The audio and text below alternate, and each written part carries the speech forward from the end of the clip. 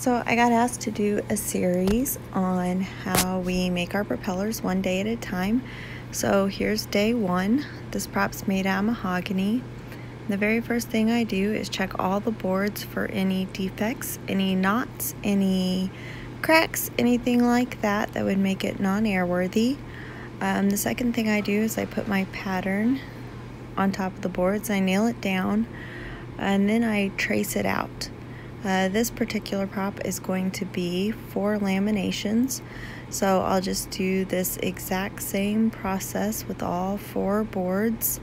Um, I just give myself a little bit of extra so that I have some wiggle room on the bandsaw. And this prop's going to be made of mahogany, but I also make them out of maple or birch or cherry. Um, have to put on my safety glasses, all snazzy, and my hearing protection.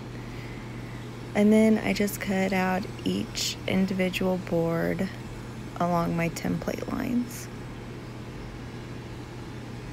The mahogany is a lot lighter than maple, um, so it's a lot nicer to work with on a prop this size. The maple boards get a little heavy, but one at a time they're not too bad.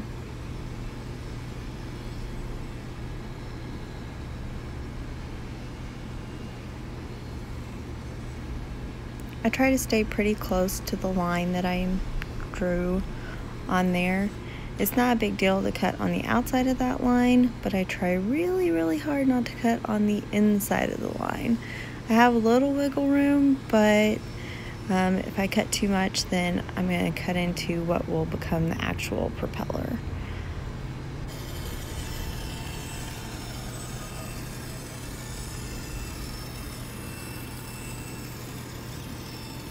This is probably one of my favorite parts of the process. The bandsaw is one of my favorite machines to use. Once you get in the rhythm, it goes really fast.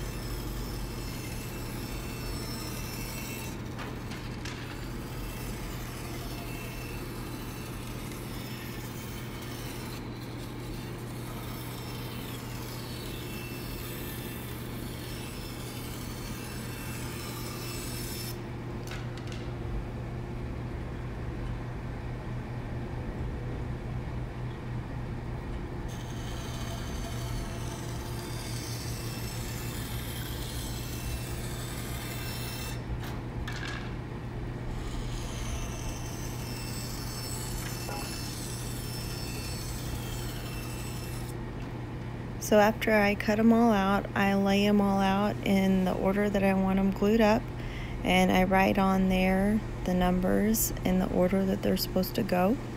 Um, the next thing I do is I sand them all down to get any little bit of dirt or particles or any burrs off the side.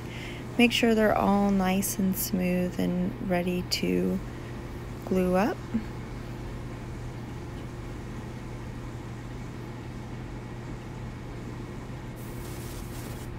I blow them all off with the air hose so that I have a nice clean surface to glue to.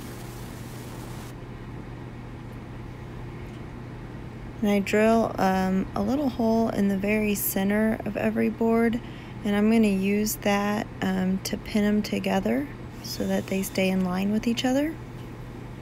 And you'll see that more towards the end of the process. And to glue, I use plastic weldwood resin and it is a powder water mix.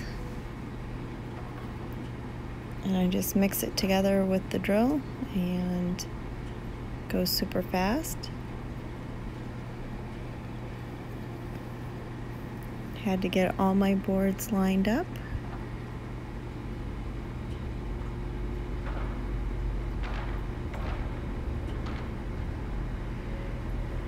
So I use a paint strainer from the automotive store just to make sure that I don't get any little chunks that didn't get stirred up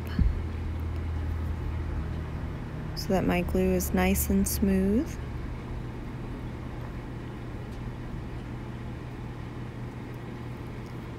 And then that is a nifty little tool that I found on Amazon called a speedball roller. And it has been a lifesaver. I used to use a foam brush, um, but of course they absorb quite a bit of your glue and they usually rip about halfway through. So this one I just wash off after every use and it's been really, really handy. And this has about a fifth, the glue has a 15 minute setup time. So from the time I mix it, I have about 15 minutes to get the prop completely glued up.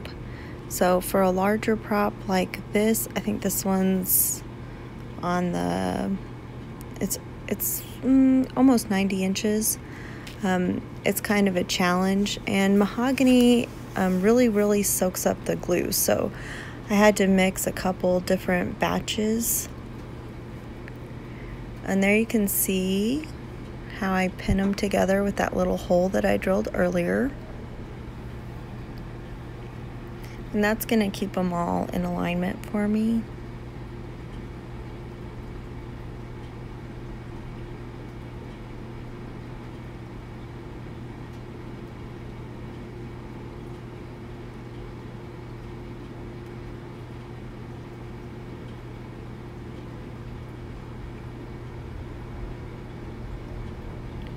and then I just glue I glue both sides and stack them up like that um, one right after another until I get all four ready.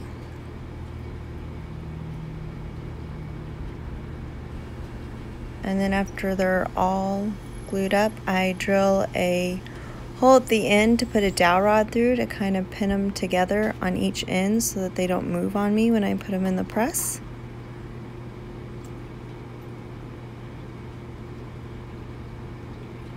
And then I go ahead and take that centering pin out. I say a centering pin, but it's really just a coat hanger.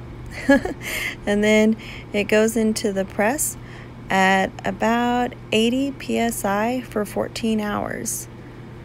And that is the end of day one.